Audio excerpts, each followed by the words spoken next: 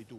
Uh, tetapi secara keseluruhan saya amat bersetuju saya uh, memang uh, menjunjung uh, sepenuhnya apa yang disebut oleh uh, uh, paduka yang uh, uh, Sri Paduka yang di uh, Tuan Agong uh, bahawa kita perlu uh, lihat dan pastikan bahawa keamanan perpaduan negara ini sentiasa uh, dilindungi dan itu adalah satu perkara yang saya akan tegaskan dalam kementerian saya.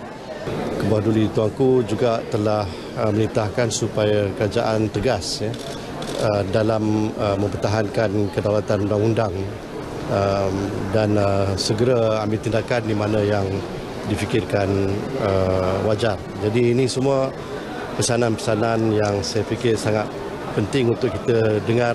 Dan dalam titah ucapan tadi, baginda tuanku telah um, memberikan titah nasihat supaya kerajaan persekutuan dapat melihat aspek-aspek ekonomi dan pembangunan sosioekonomi sebagai teras untuk Malaysia terus maju ke hadapan.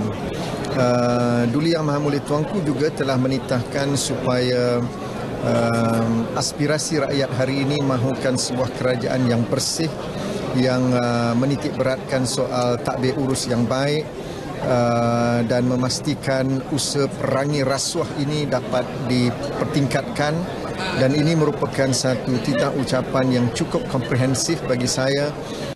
Negara memerlukan uh, bekalan-bekalan yang cukup dan uh, petani rakyat harus ditingkatkan pendapatan mereka.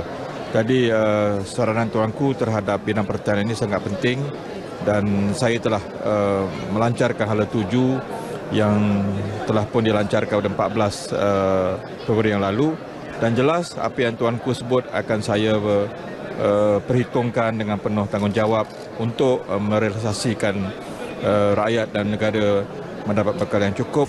Yang paling penting adalah kita perlu sederhana, kita perlu menghormati antara agama dan sensitiviti kaum dan juga agama masing-masing. Kalau kita boleh faham perkara ini dan perkara ini telah pun termaktub di dalam perlembagaan. Kalau semua orang hormat perlembagaan, faham tentang perkara ini, insyaAllah Malaysia akan menjadi negara yang aman dan makmur.